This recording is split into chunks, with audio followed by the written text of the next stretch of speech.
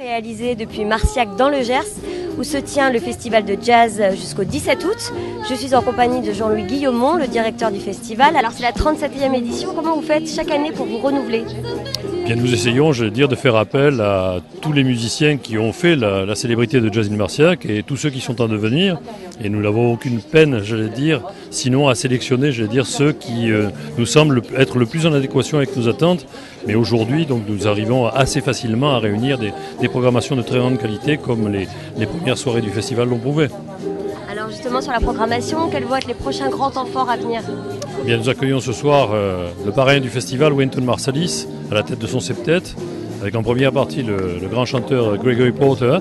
Et puis demain, nous clôturerons le festival, au moins pour ce qui concerne la partie chapiteau, par euh, deux invités de marque, euh, le grand pianiste Monty Alexander et puis euh, Jimmy Cliff. Et le festival BIS n'est pas en reste, puisque ce soir, c'est le groupe Jazz à Bichon qui est accueilli à la scène de l'Astrada à 21h30. Nous avons rencontré un de leurs musiciens cet après-midi.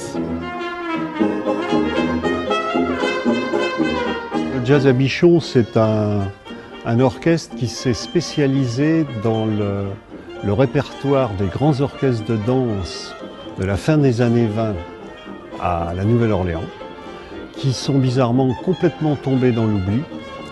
Euh, des, formations comme les New Orleans Owls ou bien le Halfway House Orchestra. Et donc nous nous avons exhumé ce, répertoire-là, ce qui nous vaut d'être invités beaucoup dans les grands festivals de jazz classique, principalement à l'étranger. You.